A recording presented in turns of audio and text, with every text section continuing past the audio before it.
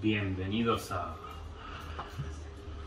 ¡Fandom Manga! Bueno, hoy les traemos la review atrasada de la semana del 17 por parte de... Ibrea. Y gracias a nuestros amigos de... Cionestor.com.ar Traemos todos los mangas que están viendo aquí en pantalla y como pueden ver son un montón. Así, Sí, nos habíamos ido a vacaciones, chicos. Una vez, una vez. Sí.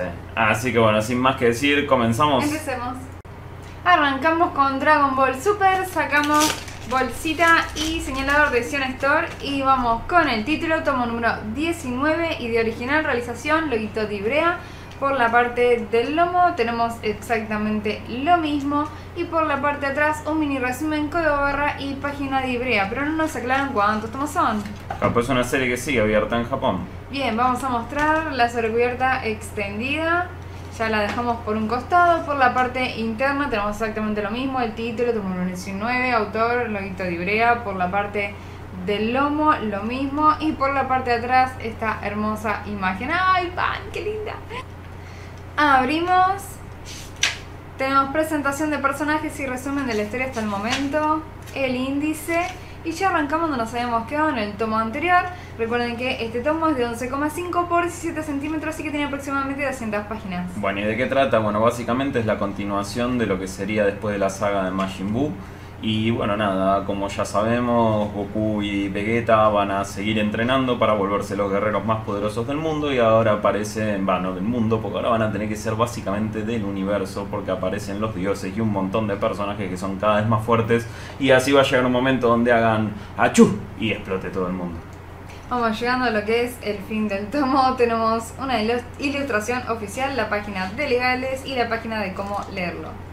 Continuamos con los siete pecados capitales, sacamos bolsita y señalador de sector y vamos con el título, autor, tomo número 28, loguito de Ibrea, por la parte del lomo tenemos exactamente lo mismo, por la parte de atrás un mini resumen, código barra y página de Ibrea y nos aclaran que es una serie de 41 tomos. Vamos a mostrar los laterales de la sobrecubierta y a mostrar la sobrecubierta extendida.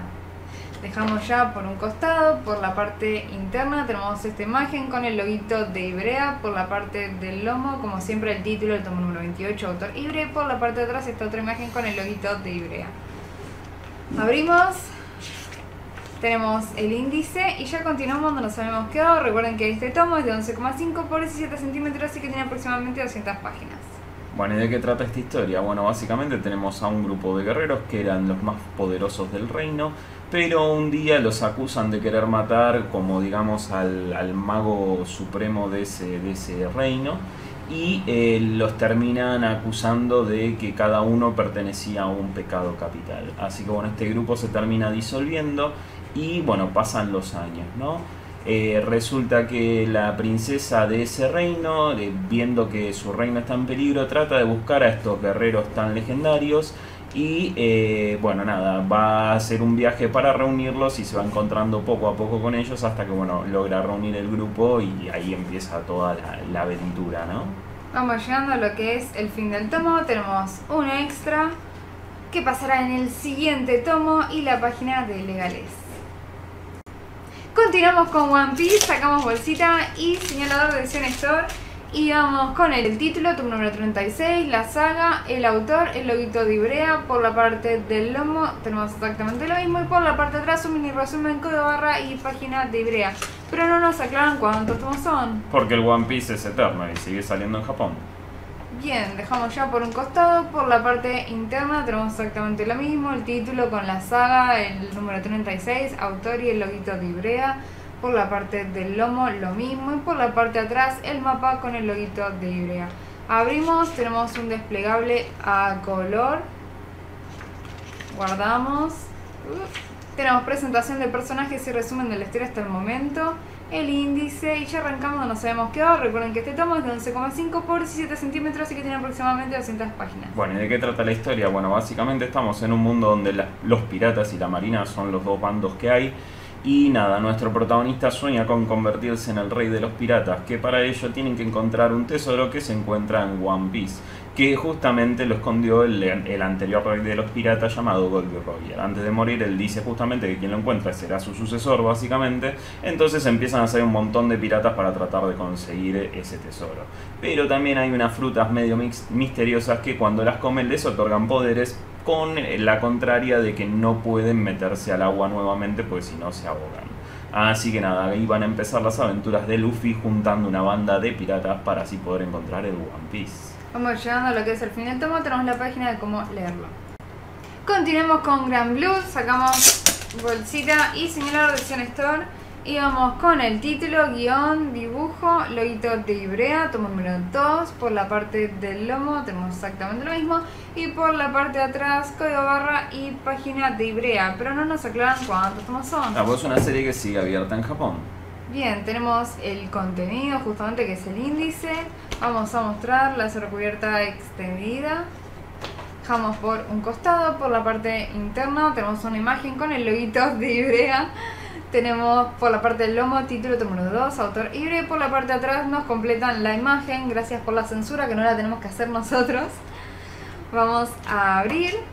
Tenemos una hoja a color. Vamos con dos hojas a color.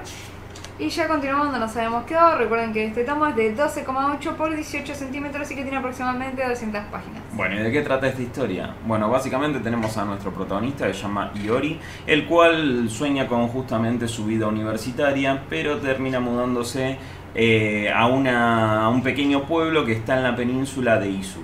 Resulta que eh, se termina hospedando en una habitación en la parte de arriba de la casa de su tío, que, eh, bueno, no es una casa, sino que es la tienda de buceo de su tío. Y bueno, eh, ahí va a terminar conociendo al excéntrico club de buceo que habita en el lugar, que básicamente es un grupo de hombres mus- musculosos que parece más interesado en tomar, beber y, estar de fiesta que básicamente el bucear en sí. Así que nada, va a empezar justamente a, conocer esta, esta vida y las maravillas del océano, ¿no?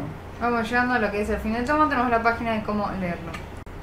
Seguimos con Hitori Hime My Hero. Sacamos bolsita y señalador de Zen Store. Vamos con el título, autor, loguito de Ibrea, tomo número 2. Por la parte del lomo tenemos uh, lo mismo. Y por la parte de atrás un mini resumen, código barra y página de Ibrea. Pero no nos aclaran cuántos tomos son. Ah, pues es una serie que sigue abierta en Japón. Vamos a mostrar la cubierta extendida. Dejamos ya por un costado, por la parte interna tenemos esta imagen, por la parte del lomo el título número 2, autor libre, por la parte de atrás esta otra imagen. Abrimos, tenemos una hoja color con el índice del otro lado y ya arrancamos donde nos habíamos quedado. Recuerden que este tomo es de 12,8 por 18 centímetros, así que tiene aproximadamente 200 páginas. Bueno, ¿y de qué trata la historia? Bueno, básicamente tenemos a nuestro protagonista que se llama Masahiro, el cual es un delincuente que básicamente tiene una vida dura y que vive metido en problemas de bandas, ¿no? Resulta que él no cree en los héroes porque nunca nadie lo protegió ni nada por el estilo, pero en eso aparece un profesor llamado Kosuke, el cual tiene muy pocas pulgas, o sea, tiene muy poca paciencia y básicamente se lleva puesto a cualquiera que, le hinche mucho, ¿no? Así que nada, él lo termina defendiendo y así nuestro protagonista se termina volviendo su protegido. Eh, resulta que después lo termina conociendo al hermano de este muchacho y eh, no es otro que Kensuke, que es el protagonista de otro manga llamado Hitorihime, Boyfriend. Y bueno, así se terminan volviendo su mejor amigo y un año más tarde Kosuke eh, termina siendo el profesor de matemáticas de, de este muchacho y es como que todo empieza a complicarse un poco, ¿no? Vamos llegando a lo que es el fin del tomo. Tenemos un epílogo y la página de legales. Continuamos con el, el héroe del escudo. Sacamos bolsita y señalador de Zen Store. Vamos con el título, el tomo número 17, autor. Tenemos realización idea original y diseño de personajes. Por la parte del lomo tenemos lo mismo. Y por la parte de atrás un mini resumen, codo barra y página de Ibrea. Pero tampoco nos aclaran cuántos tomos son. Claro, pues es una serie que sigue abierta en Japón. Uy, acá nos vino doblada la sobrecubierta y tenemos el índice. Vamos a mostrar la sobrecubierta extendida. Dejamos ya por un costado. Por la parte interna tenemos bueno, el título, número 17, y en realización, idea original y diseño de personajes. Tenemos un cómic con el loguito de Ibrea por la parte del lomo, lo mismo, y por la parte de atrás otro cómic con el loguito de Ibrea. Vamos a abrir y tenemos una hoja a color Vamos con dos hojas a color. Recuerden que este tomo es de 12,8 por 18 centímetros y que tiene aproximadamente 200 páginas. Bueno, ¿y de qué trata esta historia? Bueno, básicamente tenemos un Isekai. Nuestro protagonista un día está en la biblioteca y de repente agarra un libro y aparece en otro mundo. Resulta que en este mundo parece un mundo medio de videojuegos y resulta que aparece él junto a otros tres chicos más. Resulta que más o menos les explican que cada uno va a ser un héroe legendario perteneciente a un arma. Y en el caso de él termina siendo el arma más infravalorada de todos, que es justamente el escudo. Así que bueno, nada, todos lo terminan como tratando mal porque justamente era el héroe del escudo y demás. Entonces, nada, eh, él se termina aislando de todos. Y en una de esas termina conociendo a una chica esclava que se llama Raftalia, la cual justamente va a empezar aventuras con él y así él va a empezar a volverse cada vez un poco más el mejor de estos cuatro héroes porque tienen que salvar a ese mundo de la destrucción para poder volver a su mundo. Vamos llegando a lo que es el fin del tomo, tenemos la página de legales y la página de cómo leerlo. Continuamos con Giga Giro, sacamos bolsita y señalador de Cine Store. Vamos con el título, tomo número 3, loguito de Ibrea, tenemos idea original, realización y diseño de personajes. Por la parte del lomo tenemos exactamente lo mismo y por la parte de atrás un mini resumen, código barra y página de Ibrea, pero no nos aclaran cuántos tomos son. Porque es una serie que sigue abierta en Japón. Vamos a mostrar la sobrecubierta extendida. Dejamos ya por un costado, por la parte interna tenemos esta imagen con lo mismo, el título, número 3, autor, loguito Ibrea. Por la parte del lomo lo mismo y por la parte de atrás estos detalles. Abrimos, uy, perdón, tenemos una hoja a color. Tenemos dos hojas a color con el índice del otro lado recuerden que este tomo es de 12,8 por 18 centímetros y que tiene aproximadamente 200 páginas. Bueno, ¿y de qué trata la historia? Bueno, básicamente tenemos a nuestro protagonista que se llama Yoshida, el cual justamente estaba enamorado de su jefa, junta coraje y se le declara. Pero esta lo termina rechazando, así que él decide ir a ahogar las penas justamente bebiendo alcohol con sus amigos de trabajo. Resulta que cuando estaba volviendo para su casa se cruza a una chica que se llama Sayu y que bueno, básicamente esta intenta seducirlo para poder ir a, dormir a su casa, ¿no? Resulta que él no se deja seducir, pero la deja que vaya a dormir a su casa. Y al día siguiente más o menos se entera de la historia de esta chica, que aparentemente iba de, se había escapado de su casa e iba viviendo de casa en casa, intercambiando ciertos favores por justamente poder dormir en esos lugares, ¿no? Así que bueno, él la termina dejando vivir en su casa, pero a cambio de que le haga los quehaceres de la casa, digamos. Eh, y así, bueno, básicamente se va a ir empezando una relación medio dispar entre ellos y van a tratar a su vez de ir buscando que Sayu vuelva a, a ingresar en la sociedad normal, ¿no? Digamos. Vamos llegando a lo que es el fin del tomo, tenemos unos detalles y la página de legales. Continuamos con Mob Psycho, sacamos bolsita y señalado de Zen Store. Vamos con el título, tomo número 6, autor, loguito de Ibrea, para que lo tengan en cuenta. Tiene la casa sectorizada, para mí queda muy copada. Por la parte del lomo, Ibrea nos aclara que es un tomo 2 en 1 y tenemos el mismo título, tomo número 6 y autor. Por la parte de atrás tenemos un mini resumen, nos aclaran que es una serie de 8 tomos, código barra y página de Ibrea. Perdón, por la parte de atrás no tendríamos la laca sectorizada. Vamos a mostrar los laterales de la sobrecubierta donde tenemos al autor diciendo un par de palabras.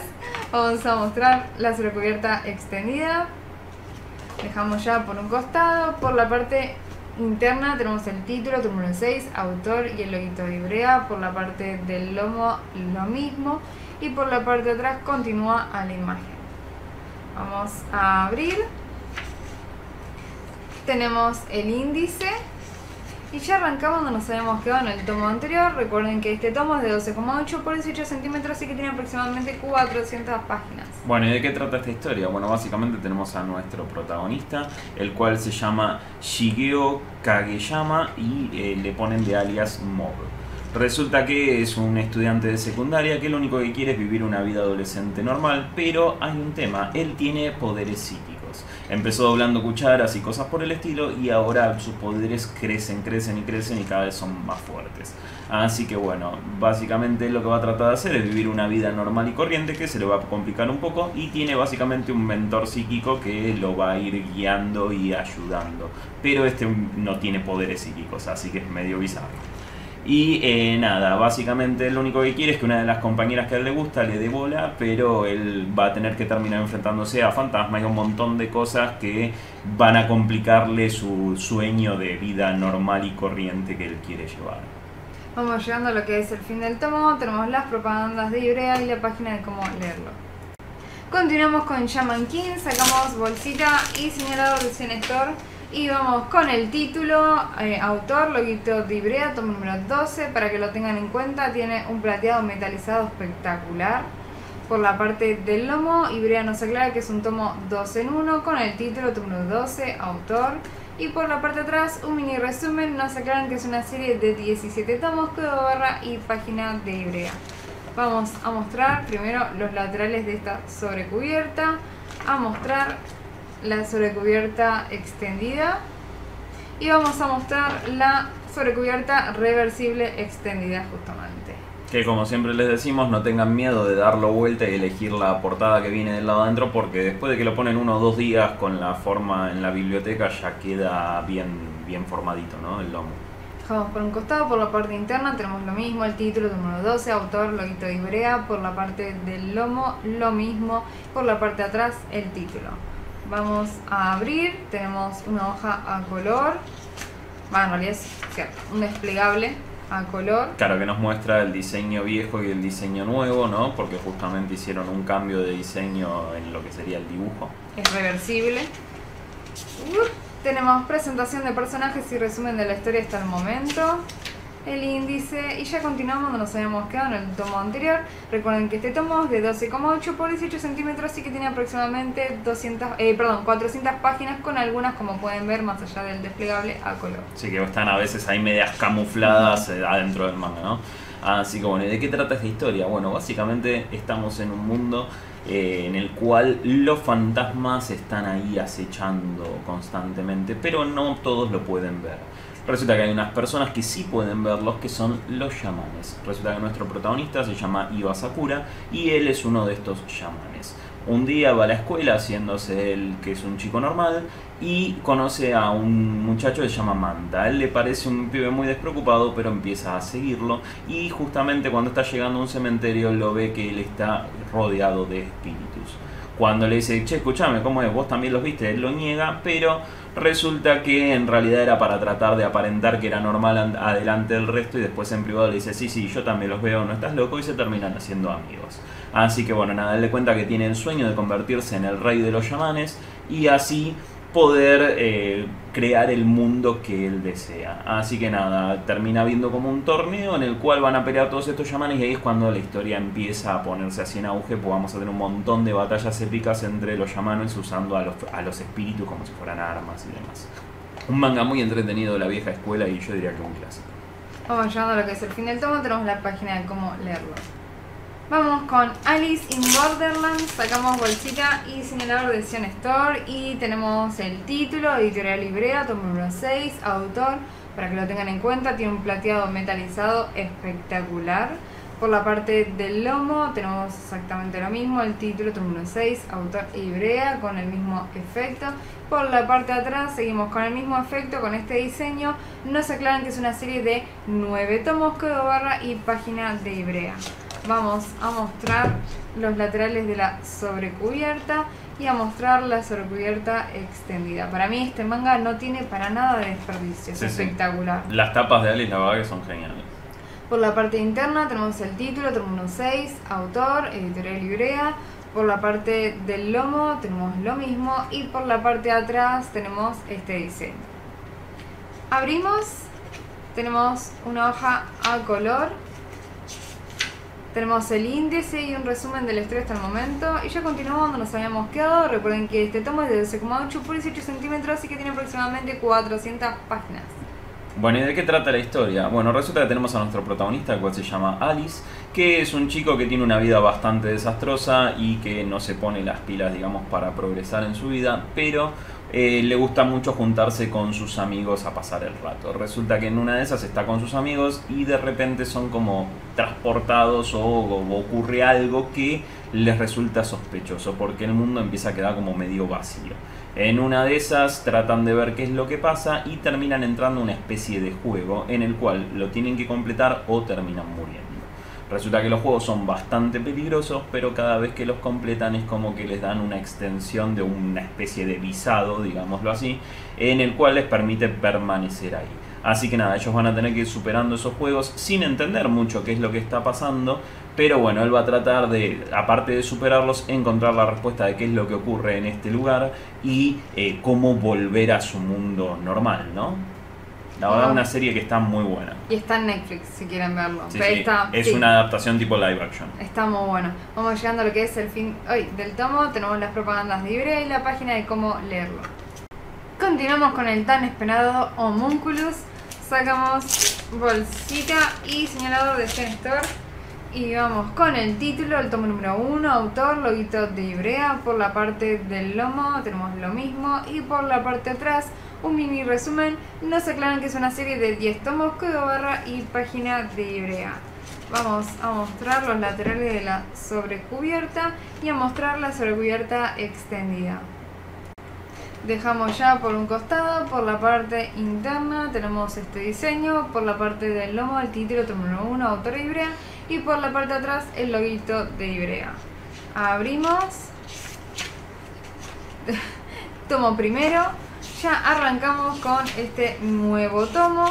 Recuerden que este tomo es de 12,8 por 18 centímetros y que tiene aproximadamente 350 páginas. Bueno, ¿y de qué trata esta historia? Bueno, tenemos a nuestro protagonista, el cual se llama Susumu Nokoshi, y es un hombre de 34 años que eh, deja de trabajar en una importante empresa y se termina convirtiendo en un homeless, o sea, un sin hogar. Resulta que eh, termina viviendo en su auto y pasa el día en el parque junto a los demás sin techo, ¿no? Eh, termina conociendo allí a Manobu Ito, el cual es un estudiante de medicina que lo está buscando reclutar gente para un experimento que él quiere realizar, que consiste básicamente en un procedimiento quirúrgico conocido como trepanación.